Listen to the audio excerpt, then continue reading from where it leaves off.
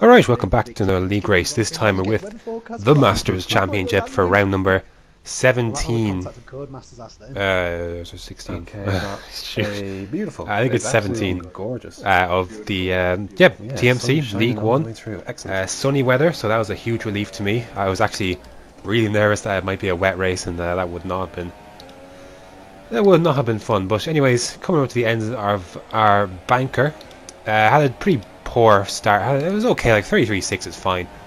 Um, but I knew it could go a lot quicker. You can see by the delta there. Um, I really got the last corner messed up on my opening lap, so I got that one right there. And we're going to take it for a lap of my fastest lap around the Circuit of the Americas, and where I kind of uh, let's take on a lap. So uh, into third for the first turn. Don't run, don't you don't want to really clip that curb on the outside if you can. Don't run out onto it. And for the S's, look, they're very difficult. But if you got the car underneath you, the curbing is really important. It's really important to take that curb, half those curbs, down to fifth, coming through, and then down to fourth. Make sure you clip that curb. I go taking a bit more. This is the part of the track I hate the most, but I try to upshift early and just try and push it if I can. You can be a bit more strict with it in the race and down the hill uh, again into third.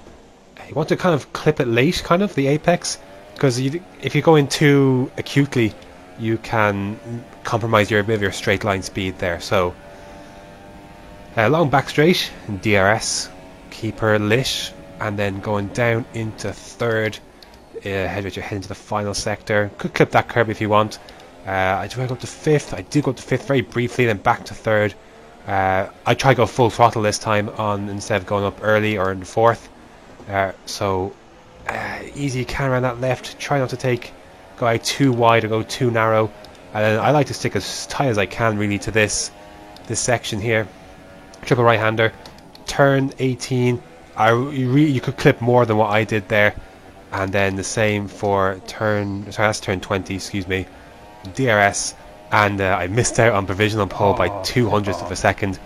Eventually fell down to third. So good lap, not too bad, I have to say, not too P3, bad at solid. all. And uh, starting from a good position.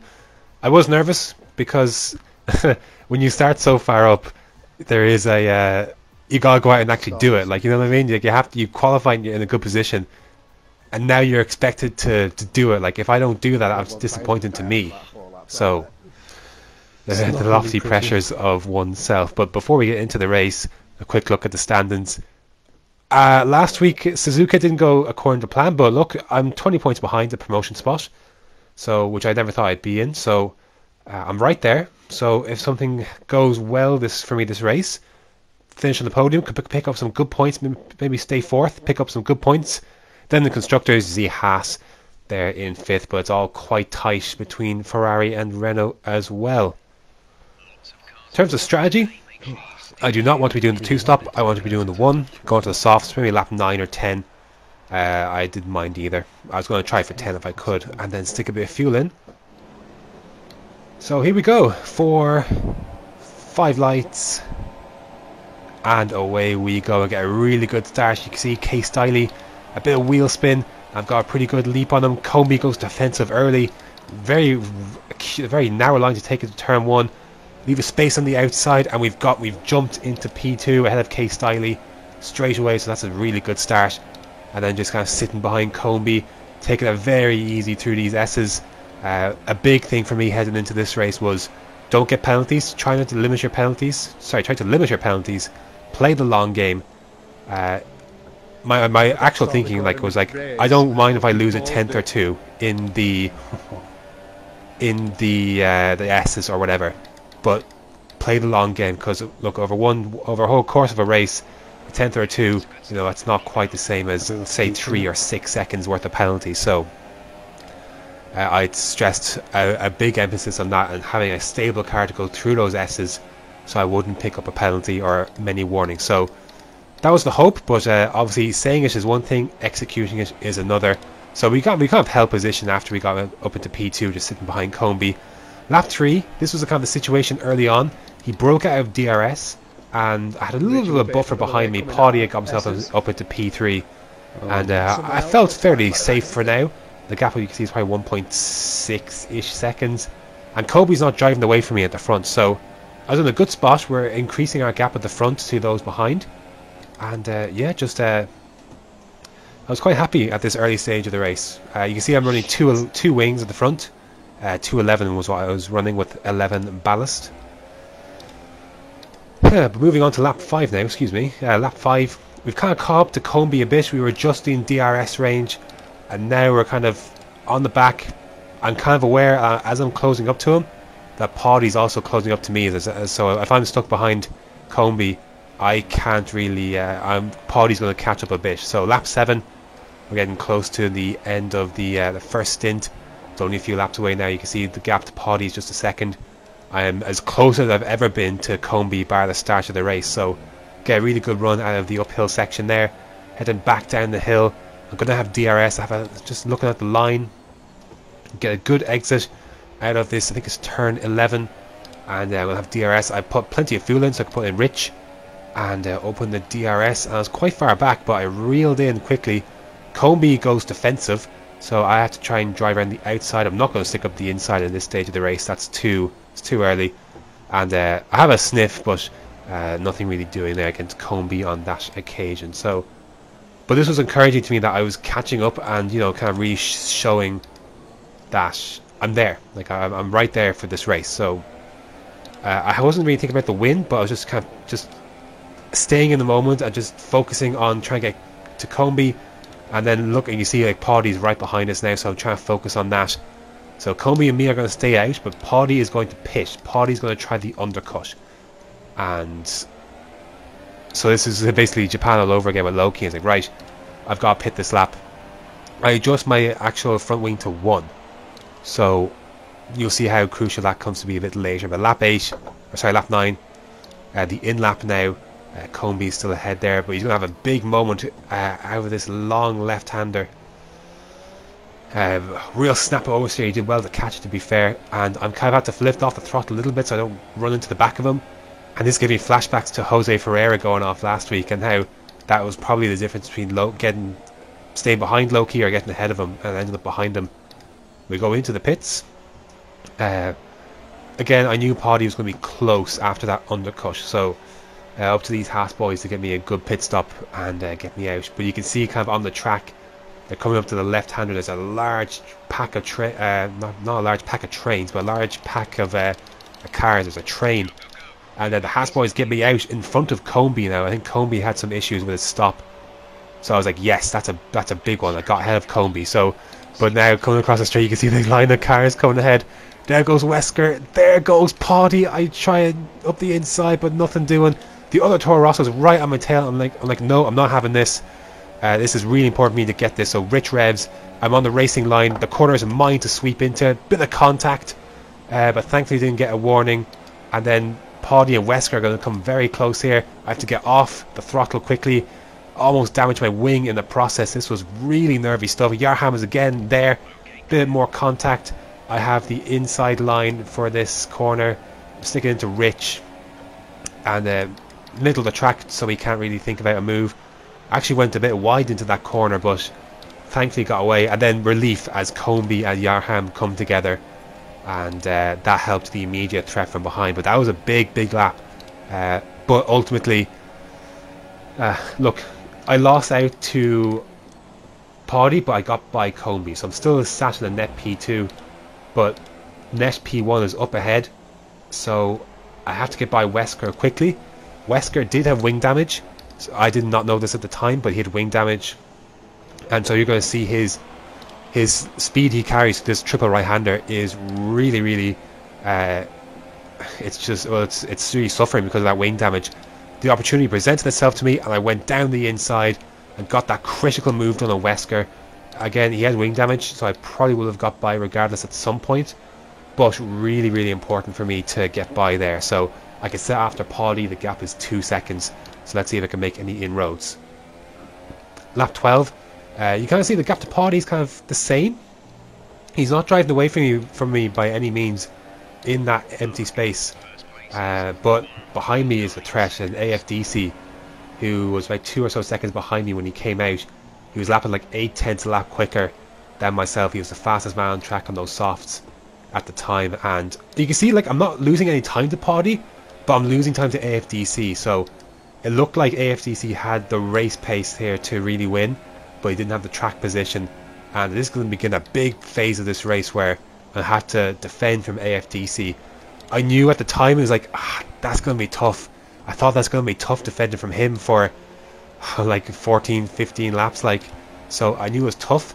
But overtaking around USA can be difficult. Uh, the two DRS straights present a good opportunity too, the end of those. But I try to prioritise good exits out of those last corners, so you'll see that in a bit more detail. Excuse me, lap 17. See, Paudie's getting their way a little bit up the front. Uh, the gap is, I think, stretched out over two seconds. And my big problem in this race was this first sector with that lowered front wing. This part, this corner in particular, I absolutely hated. I was really, really tentative uh, coming up through it. It was difficult, and that allowed uh, AFDC to kind of get on behind me and get a good run through there. But the key is this corner, getting a good launch out of that. Short shift to four, stick up to Rich. I had the fuel to burn at the time, and uh, there you go. Like instantly, he's not getting anywhere past me. So, uh, but lap 18, he's going to come a bit closer. You can see he's basically glued to my gearbox. I'm thinking, crap, this is not good. Uh, he's going to be right there with me for the DRS straight. So I, I kind of plant it uh, middle of the track, then come back on as the thresh isn't on. But he gets a good run out of that corner and onto the DRS straight, and I'm thinking, crap, this is the closest he's been.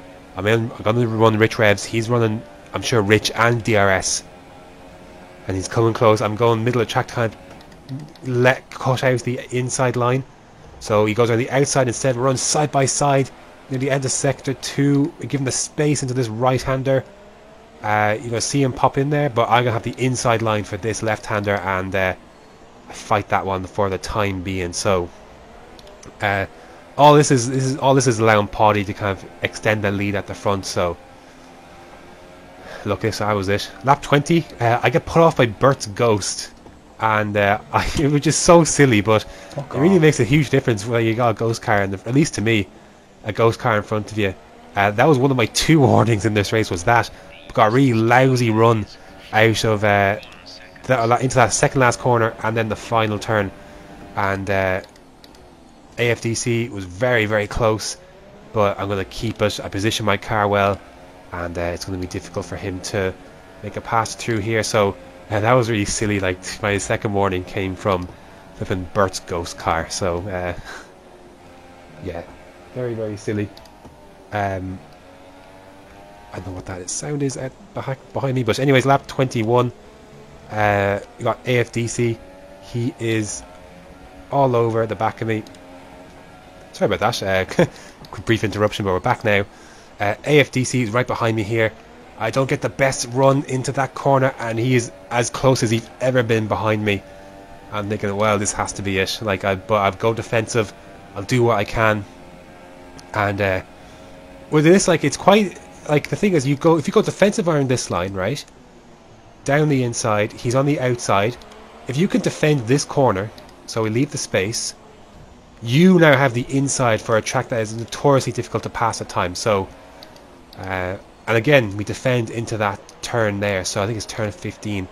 So uh, we survived again, but uh, the laps are getting up there, and I thought maybe there's a chance I could possibly do this, survive, but it's to be difficult. I, I could fight. Like I was considering, like I I could do this. I could fight because the gap behind us was quite large, and this time there's gonna be no saving me. This time, uh, Kev gets a really good run out of that last corner. I didn't think I got a bad run, but look at my fuel. Like I've got really low fuel.